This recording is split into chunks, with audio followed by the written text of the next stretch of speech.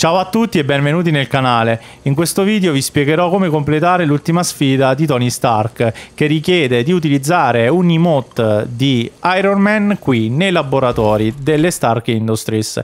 Una volta che avete raggiunto 100 come livello nel pass battaglia ed avete sbloccato Tony Stark e le sfide, non dovete far altro che posizionarvi qui e utilizzare questa. In questo modo sbloccherete Iron Man e completerete l'ultima sfida di Tony Stark.